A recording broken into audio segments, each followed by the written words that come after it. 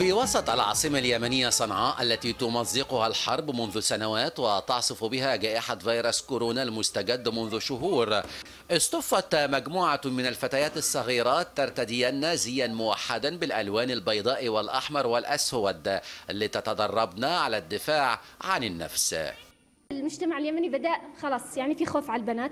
لذلك البنات يجوا يتدربوا في بنات يجوا يتدربوا كل واحدة معاها غاية واحدة تجي تدافع عن نفسها. واحدة تجي تتدرب عشان تقوية في بعضهم يجوا عشان شد الجسم ولياقة بدنية يعني في كل واحدة لها غاية. وأقامت سهام عامر مشروعها لتمكين النساء والفتيات اليمنيات في عام 2015 لكن التدريبات ظلت مستمرة في أوقات القتال ووسط القيود التي فرضت لاحتواء تفشي جائحة فيروس كورونا. بس الحمد لله زاد العدد يعني في 2015 كنا ندرب ست بنات صغار آخر فترة وصلنا ل 50 لاعبة.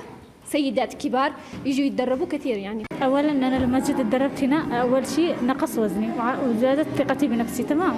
وقوة شخصيتي. يعني أنا كنت من أول لما بختن الشارع يعني شوية بين اخاف أو خجولة أو بخاف شوية.